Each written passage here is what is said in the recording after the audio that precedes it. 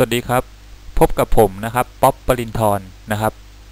คลิปนี้นะครับก็จะพูดเกี่ยวกับแท้งนะครับ tank sizing แล้วก็ vessel แล้วก็ vessel sizing นะครับ โดย pressure vessel นะครับ หรือ vessel นะครับ กับแท้งมันมีความแตกต่างกันอยู่ โดยสิ่งที่แตกต่างกันระหว่างแท้งกับ pressure vessel หรือ vessel ก็คือ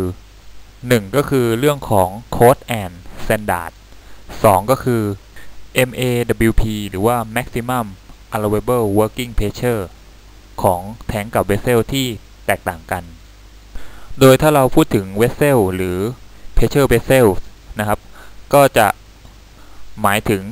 Unfined Pressure Vessel ก็คือ Pressure Vessel ปกตินะครับที่ไม่มีไฟไหม้ในตัวมันนะครับ เมื่อมันโอเปเรตปกตินะครับ Unfined Pressure Vessel ก็จะ require PSV ทุก vessel ตามโค้ดของ ASME Section 8 นะครับ ส่วนเรื่องของการ sizing แล้วก็ selection ของ PSV ก็ต้อง apply ตาม API RP 520 Pressure Vessel อีกชนิดหนึ่งก็คือเป็น Fired Pressure Vessel ก็จะเป็น Vessel ที่มีไฟไหม้ ตัวมันตลอดเวลานะไฟไหม้ในที่นี้นะไม่ได้เกิด fire case นะครับแต่เช่น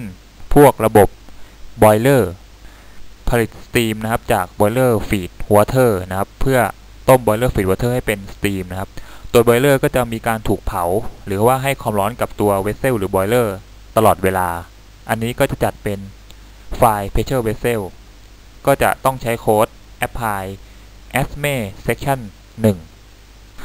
กับพวกไฟล์ pressure vessel นะครับ แล้วก็ apply code ASME section 8 กับ Unfired pressure vessel โดย MAWP ของ pressure vessel จะมากกว่าหรือเท่ากับ 1.03 บาเกต ทั้ง Unfile แล้วก็ file pressure vessel ส่วนถ้า MAWP มันน้อยกว่า 1.03 บาเกต ก็จะพิจารณาเป็นพวก storage tank นะครับ ทั้งเป็น low pressure storage tank แล้วก็ atmospheric storage tank ซึ่ง code and standard ที่ใช้กับ low pressure storage tank หรือ atmospheric storage tank ก็จะเป็นพวก API 620 หรือ API 650 ส่วนถ้าเป็นเรื่องของการ venting นะครับ inbeat outbeat ของแท้งก็จะใช้ API 2000 ในการเป็น reference ในการดีไซน์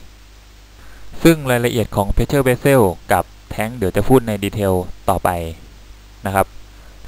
รูปที่โชว์นะครับ ทั้ง 2 รูปจะเป็นตัวอย่างของ pressure vessel ซึ่งตัว body ของ vessel ก็จะเป็นทรง cylindrical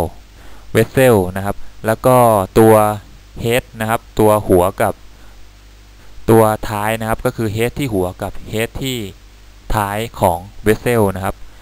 ก็จะโค้งๆนะส่วนใหญ่จะใช้เป็น 2 ต่อ 1 elliptical head pressure vessel ก็จะมีทั้ง vertical pressure vessel แล้วก็ horizontal pressure vessel นะครับ รูปที่โชว์ทั้ง 2 รูปก็จะจัดเป็น horizontal pressure vessel contents ก็จะมีทั้งหมด 5 หัวข้อหลักๆ นะครับ 1 ก็คือเป็น storage tank classification ก็คือเราจะ classify มาก่อนว่า อันไหนจัดเป็นเวสเซลแบบไหนจัดเป็นแทงนะครับ 2 คือแทงแอนแทงไซซิ่ง3คือ selection of tank design 4 ก็คือ nozzle connection for tank นะครับ ก็จะแสดง nozzle connection รอบๆแทงต่างๆ ที่ควรจะมี ซึ่งบางอย่างก็อาจจะแอพพลายไปใช้กับ vessel ด้วยก็ได้ 5 ก็คือ pressure vessel and vessel sizing storage tank classification จริงๆ pressure vessel นะครับ หรือ vessel กับ tank เนี่ย เรียกรวมๆกันว่าเป็น storage tank ได้ หรือเราอาจจะพูดรวมๆว่า storage tank จะ classify แยกได้ออกเป็น 2 แบบ 1 ก็คือ pressure vessel 2 ก็คือเป็น tank ธรรมดานะครับ ซึ่งถ้าพูดโดยรวมก็คือ vessel กับ tank จริง ๆ ก็เหมือนๆกันนะก็คือใช้ storage หรือว่า contain พวก liquid หรือแก๊สนะครับหรือ material ต่างๆ เหมือนกันนะครับ แต่ว่ามันมีข้อแตกต่างสำคัญสำคัญอยู่ 2 อย่างนะครับ ระหว่าง vessel กับ tank 1ก็คือ code and standard ที่ต่างกัน 2 ก็คือ MAWP หรือว่า maximum allowable working pressure ที่ต่างกันนะครับ จึงมีการ classify storage tank ออกเป็น vessel ก็คือ pressure vessel กับ tank นะครับ หรือว่าเป็น storage tank ก็ได้ ถ้าดูตามไดอะแกรมนะครับ จากไดอะแกรมจะเห็นว่า unfine pressure vessel โค้ดที่ใช้กับ unfine pressure vessel ก็คือ ASME code นะครับ เป็น ASME section 8 แต่ถ้าเป็น fine pressure vessel นะครับ โค้ดที่ใช้ก็จะเป็น ASME section 1นะครับ พวกระบบ boiler ต่างๆ ซึ่งตัว vessel ก็จะถูกเผานะครับ ให้ความร้อนกับตัว vessel อยู่ตลอดเวลานะครับ เช่นเอ่อ boiler นะครับ ก็คือในนั้นก็จะมี boiler feed water นะครับ ถูกต้มให้กลายเป็นสตรีม เอาไปใช้ในแพลนต่างๆนะครับ boiler ก็จะจัดเป็นไฟ pressure vessel นะครับ ก็คือ pressure vessel ที่มีไฟไหม้มันตลอดเวลา หรือมีการให้ความร้อนกับ ไฟ pressure vessel ตลอดเวลานะครับโค้ดที่ใช้ก็จะเป็น ASME section 1นะครับพวก unfine pressure vessel หรือ fine pressure vessel ก็จัดเป็น pressure vessel เหมือนกันนะครับแต่ในที่นี้ถ้าเราพูดถึง pressure vessel เราจะพูดถึง unfine pressure vessel ซึ่งจะสอดคล้องกับโค้ด ASME section 8 นะครับ pressure vessel หรือ unfine pressure vessel เนี่ยก็คือ vessel ที่มี MAWP มากกว่าหรือเท่ากับ 1.03 bar gauge นะครับ ซึ่งก็คือ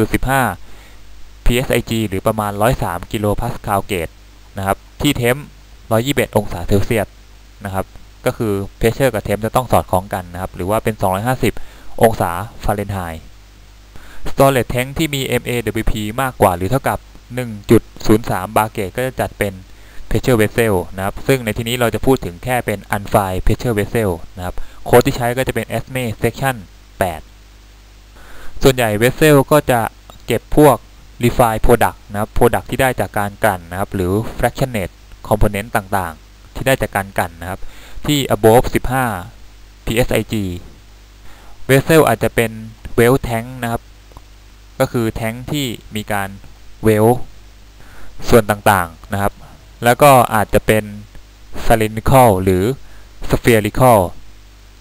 แท้งหรือ vessel ก็ได้นะครับ vessel ก็เรียกอีกอย่างนึงว่าเป็นดรัมก็ได้นะครับ cylindrical tank cylindrical vessel หรือว่า spherical tank หรือ spherical vessel ความหมายก็เหมือนๆกันนะครับ ถ้ามี MAWP มากกว่าหรือเท่ากับ 1.03 bar gauge นะครับ เราก็จะจัดเป็น pressure vessel นะครับ หรือเป็น vessel ทีนี้ถ้า storage tank ที่มี MAWP น้อยกว่า 1.03 bar gauge นะครับหรือ 15 psig หรือ 103 กิโลพาสคาลเกตที่ 121 องศาเซลเซียสเนี่ยเราก็จะจัดเป็นแท้งธรรมดานะครับหรือเรียกว่าเป็น low pressure vessel นะครับซึ่ง low pressure vessel ก็เท่ากับแท้งนะครับซึ่งก็คือ solid tank ธรรมดา เพราะฉะนั้น storage tank ที่เป็นแท้งนะครับก็เท่ากับ low pressure vessel นะครับถ้าเราจะใช้โค้ด API 620 API ย่อมาจาก American Petroleum Institute นะครับ ถ้าจะใช้โค้ด API 620 MAWP ของ storage tank จะต้องมีค่ามากกว่าหรือเท่ากับ 2.5 psig หรือประมาณ 18 กิโลพาสคาล gauge หรือ 0.18 บาร์ gauge ที่ 90 องศาเซลเซียส แต่มีค่าน้อยกว่า 1.03 บาร์ gauge นะครับ ที่ 121 องศาเซลเซียส ก็จะใช้โค้ด API 620 ได้นะครับ พวกนี้ที่ใช้โค้ด API 620 ก็จะเรียกเป็นพวก low pressure storage tank ซึ่ง low pressure storage tank ก็จะเก็บพวกเอ่อ higher volatility product ก็คือ product ที่มีการระเหยได้ง่ายนะครับ ก็จะถูกเก็บได้นะครับ อาจจะเป็น cylindrical with flat หรือ disc bottom ก็คือ bottom เป็นเส้นตรง ตรงๆธรรมดานะครับเป็น flat หรือว่า disc bottom ก็คือโค้ง มีการโค้งตัวที่ตัว bottom นะครับก็ได้นะครับ หรือ bottom อาจจะทำเป็น slope สำหรับเดนนะครับ หรืออาจจะเป็น dome loops ก็ได้นะประเภทนี้ ซึ่ง low pressure storage tank โดยทั่วไปก็จะมีการเวลนะครับ ใช้ในการเชื่อมส่วนต่างๆของแทงรวมถึง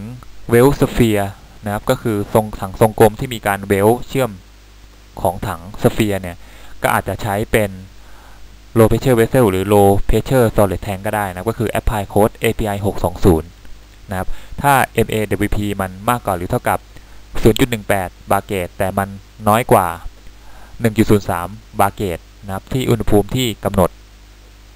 สุดท้ายนะครับ ถ้า storage tank ที่มี MAWP มากกว่าหรือเท่ากับลบ 0.25 กิโลพาสคาล gauge แต่น้อยกว่า 18 กิโลพาสคาล gauge ที่ 90 องศาเซลเซียสนะครับ ก็จะใช้โค้ด API 650 American Petroleum Institute นะครับ 650 หรือ API 650 ในการ apply ใช้นะครับกรณีที่ MAWP มันมากกว่าหรือเท่ากับลบ 0.25 กิโลพาสคาล gaugeนะครับ แต่มันน้อยกว่า 18 กิโลพาสคาลเกตนะครับ รือถ้าทำเป็นบาเกตก็คือลบ 0.0025 บาเกตนะครับ มากกว่ารือเท่ากับลบ 0.0025 บาเกต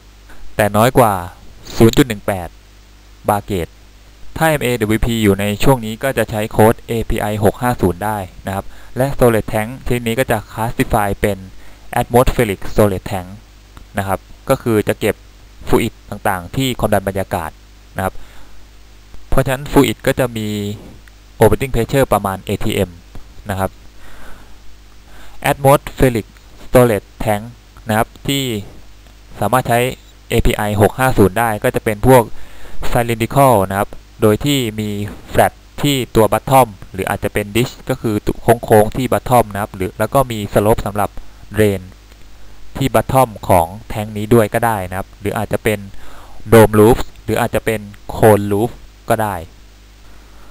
low pressure tank usually well นะครับก็คือจริงๆ low pressure tank ตรงนี้ก็คือเป็น atmospheric tank นะครับ แต่ถ้ากรณีที่ pressure มันเเข้าไป MAWP เกือบจะไปแตะ 0.18 บาร์เกตนะครับ บางทีอาจจะเรียกเป็น low pressure tank นะครับ จริงๆ ก็คือโดยรวมมันคือ atmospheric tank นะครับ โดยทั่วไปก็จะมีการ well นะครับ พวก boated tank นะครับ บางทีก็ถูกใช้สำหรับเอ่อ pressure ที่ต่ำมาก ๆ เพราะฉะนั้นโดยสรุปนะครับ storage tank ก็จะ classify ได้เป็น 2 แบบ 1 ก็คือเป็น pressure vessel นะครับ ตามเส้นสีแดงๆขึ้นไปนะครับ ลูกศรสีแดง 2 ก็คือเป็นแทงนะครับ ก็คือเป็นลูกศรสีน้ำเงินลงมานะครับแทงก็จะแบ่งออกเป็น ถ้าใช้ตาม API 620 ก็จะเป็น low pressure storage tank ถ้าใช้โค้ด ตาม API 650 ก็จะเป็น atmospheric storage tank ซึ่งประเภทต่างๆของ storage tank ก็จะแตกต่างกันออกไปตามโค้ด และก็ standard ที่ใช้ รวมถึงค่า MAWP ที่ classify มันจำแนกมันออกเป็น vessel กับ tank ด้วยนะครับ แล้วก็พวก unfine pressure vessel นะครับ กรณีที่จะต้องติดตั้งพวก relief system นะครับพวก PSV ต่างๆนะครับก็จะใช้โค้ด API RP 520 แล้วก็ API RP 521 apply กับมันนะครับส่วนถ้าเป็นพวกแท้งลงมานะครับก็คือเส้นสีน้ำเงิน low pressure vessel เนี่ยลงมาตามลูกศรสีน้ำเงินเนี่ยถ้าต้องการระบบพวก inbeat outbeat นะครับหรือ venting ต่างๆนะครับก็จะใช้ตาม API 2000 นะครับ